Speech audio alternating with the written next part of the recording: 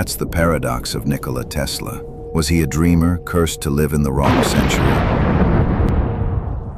He dreamed of a world where power could be sent through the air, where machines could run without wires, and where humanity might tap into forces of nature we still don't fully understand. Once a failed dream is being preserved as a tribute to his vision, while others took credit for his ideas. That's the mystery of Tesla, the genius who lit the world but never got to see his own future come true. And his story starts in the most electrifying way possible.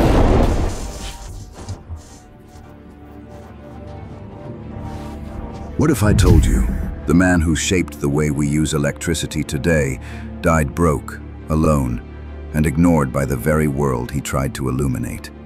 Nikola Tesla's story isn't just about brilliant inventions, it's about obsession, betrayal, and ideas so far ahead of their time that many still sound like science fiction.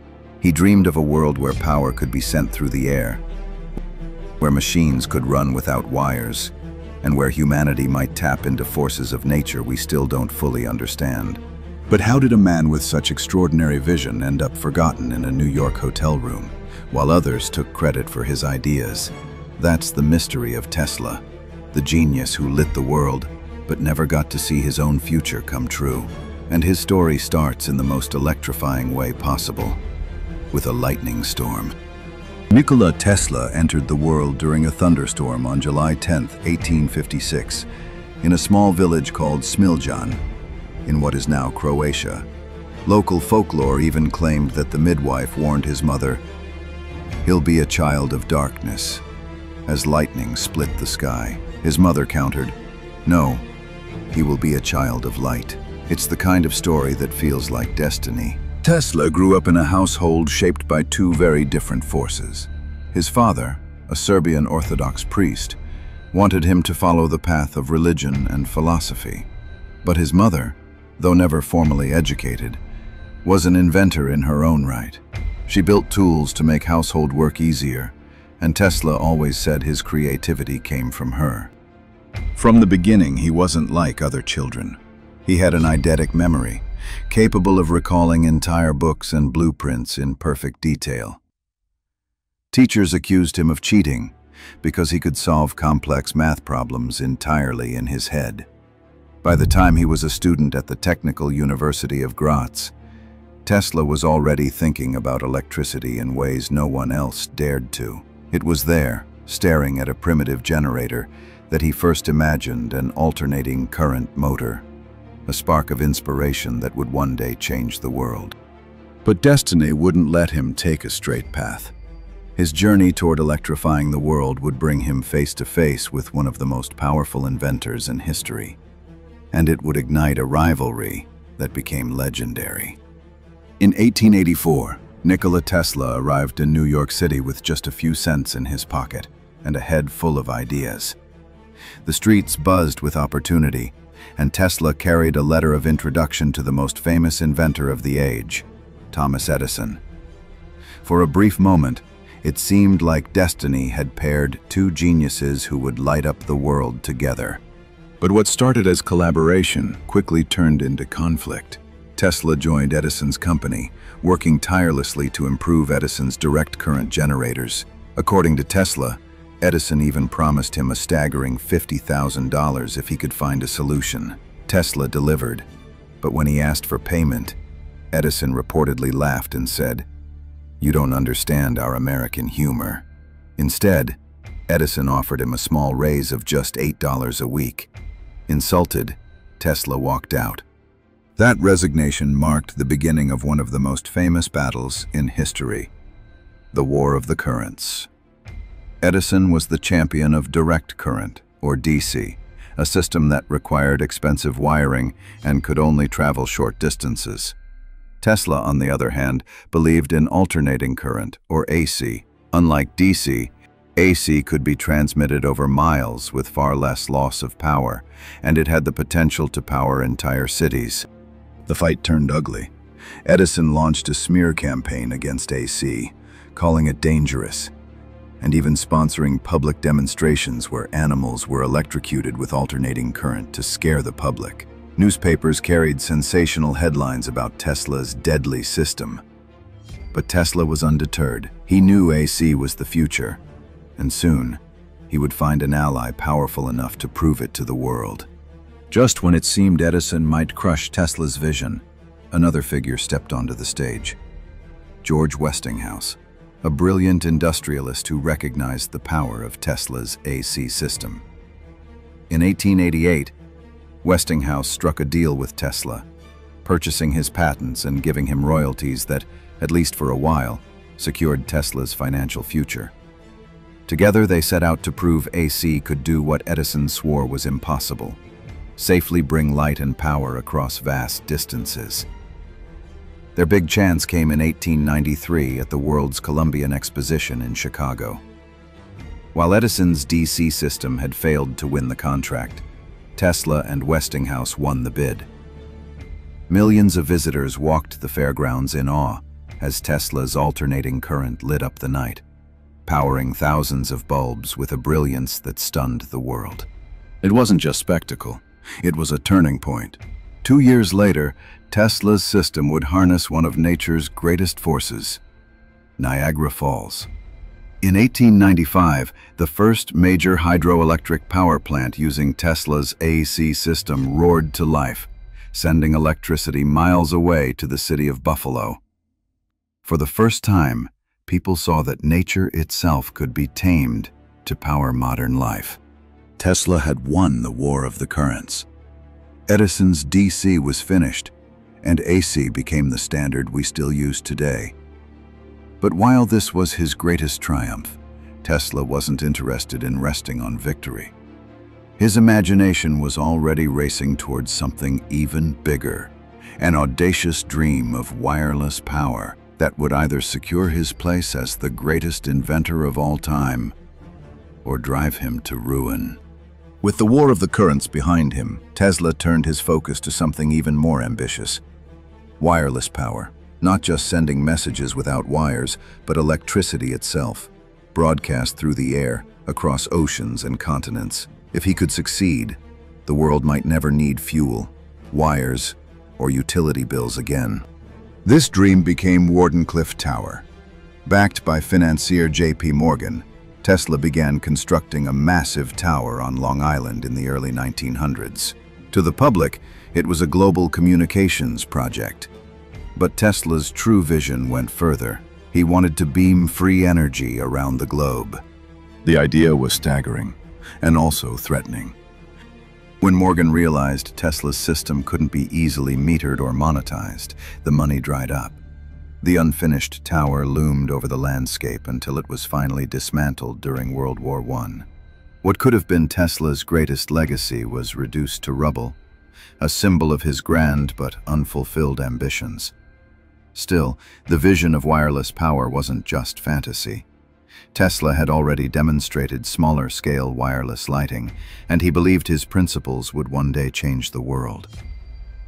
Instead of recognition, though, his failure at Wardenclyffe fueled a darker narrative that Tesla was not a visionary, but a mad scientist chasing impossible dreams. And as that reputation spread, another battle was brewing, one that would determine who truly invented the technology that shaped the modern age. Radio. For years, the world credited Guglielmo Marconi as the father of radio. He even received a Nobel Prize in 1909. But buried in patent filings was a different story, one that pointed straight back to Nikola Tesla. As early as 1896, Tesla had filed patents describing the basic components of radio transmission, tuned circuits, transmitters, and receivers. He even conducted live demonstrations of wireless signals, convinced he was on the edge of a breakthrough. But when Marconi came along, backed by powerful investors and friends like Edison, history started bending in his favor. At first, the U.S. Patent Office rejected Marconi's claims, citing Tesla's prior work. But in 1904, under heavy influence, the decision was reversed, and Marconi's patents were approved. Tesla was pushed aside, his rightful place in history stolen, while Marconi basked in the spotlight. Tesla tried to fight back in court, but his lawsuits went nowhere. It wasn't until 1943, months after Tesla's death, that the U.S. Supreme Court quietly overturned Marconi's key patents, finally recognizing Tesla's earlier contributions. By then, the man who had envisioned wireless communication was gone, and his vindication came too late for him to witness. But instead of enjoying justice, Tesla's later years were overshadowed by strange claims, eccentric habits, and stories that would fuel the legend of the mad scientist. And this next chapter of his life only deepened the mystery of who he really was. As Tesla grew older, his genius became harder for the public to separate from his eccentricities. He lived alone in New York hotels, often leaving behind unpaid bills. He obsessed over the number three, washed compulsively, and claimed to communicate with pigeons, especially a single white pigeon he said he loved as much as any human. These quirks made headlines, painting him as an odd recluse rather than a respected inventor. But beneath the strange stories, Tesla was still experimenting with ideas decades ahead of his time. He explored X-rays before Wilhelm Röntgen's discovery. He sketched out early concepts of radar and even described technology that resembles today's drones. Then there were the sensational claims. On his birthdays, Tesla would hold press conferences where he promised inventions that sounded like something out of science fiction. A death ray capable of ending all wars, a motor powered by cosmic rays, and even a method of recording human thought. To some, these announcements confirmed his brilliance. To others, they were proof he had lost touch with reality. Governments quietly investigated his Teleforce weapon, but no working prototype ever emerged. Instead, Tesla's reputation slipped further into the realm of rumor and myth, and the line between fact and fiction blurred. And while he was dismissed as a fading eccentric, his final years would be defined not by recognition, but by solitude and tragedy. On January 7, 1943, Nikola Tesla died alone in room 3327 of the New Yorker Hotel. He was 86 years old, penniless, and largely forgotten by the public. The man who had electrified the world passed away in obscurity, his notes and belongings quickly seized by government officials who feared his ideas might fall into enemy hands during World War II. For years, whispers spread about what secrets those papers contained. Blueprints for weapons, or perhaps discoveries still beyond our understanding. But while Tesla's final years were tragic, his story didn't end there. Slowly, the world began to rediscover him. In 1960, the unit of magnetic flux density was officially named the Tesla. In the decades that followed, his reputation shifted from eccentric to visionary. Today, his name is attached to one of the most innovative car companies in the world, a symbol of how far-reaching his influence truly was. His birthplace has become a museum, and Wardenclyffe Tower, once a failed dream, is being preserved as a tribute to his vision. More importantly, the very ideas he was mocked for, wireless communication, renewable energy, even remote-controlled machines, are now cornerstones of modern life.